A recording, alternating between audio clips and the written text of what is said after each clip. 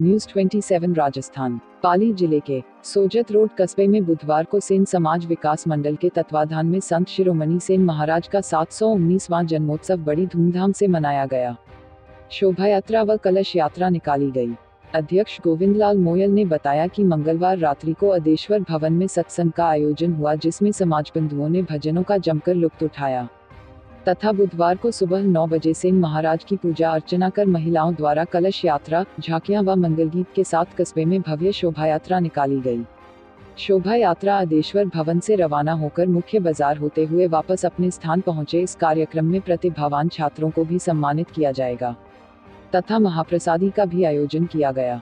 कार्यक्रम में शिव प्रकाश सिंह शंकर लाल गहलोत, घनश्याम सिंह, चंपालाल सेठी, शांतिलाल भाटी, विनोद मोयल ओम प्रकाश सिंह रेंटी सहित समाज बंधु मौजूद थे।